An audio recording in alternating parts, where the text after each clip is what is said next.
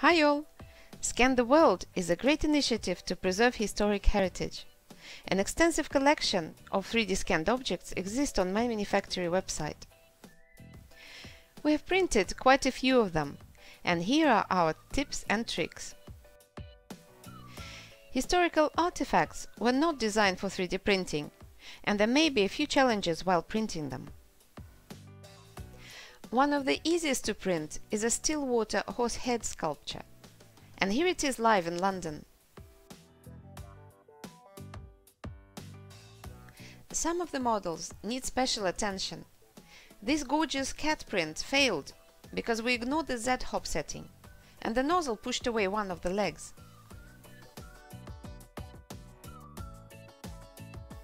Also, the majority of the models need supports and rafts.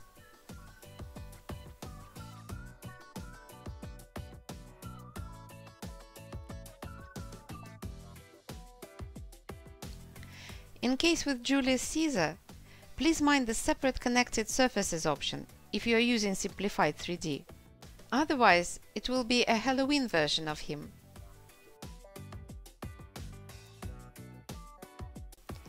When printing the wrestlers, even the faces needed supporting.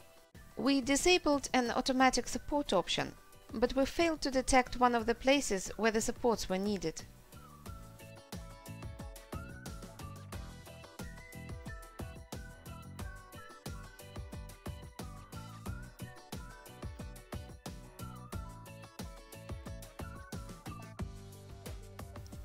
It was one of the most challenging models we've printed, and we loved the end result.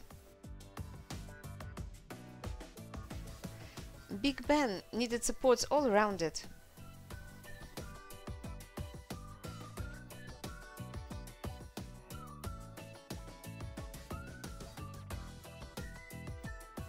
We also wanted to contribute. Thames Dolphin Lamp Standard's history goes back to 19th century. We scanned one of the creatures by taking as many pictures as we could from all possible angles.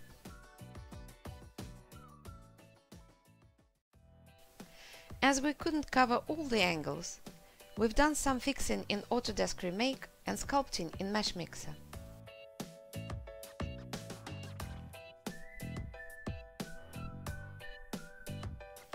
It printed very well and I didn't need many supports.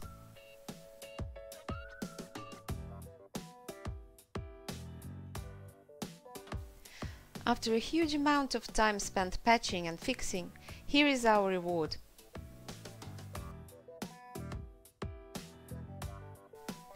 On our Delta Wasp, we were able to print a nearly life-size model.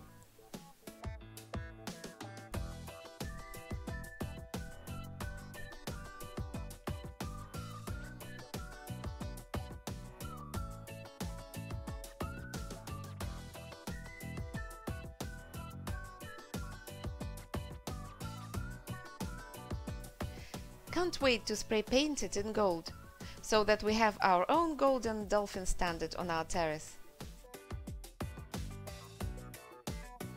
Thank you for watching. Special thanks to our supporters on Patreon. Please don't forget to like and subscribe.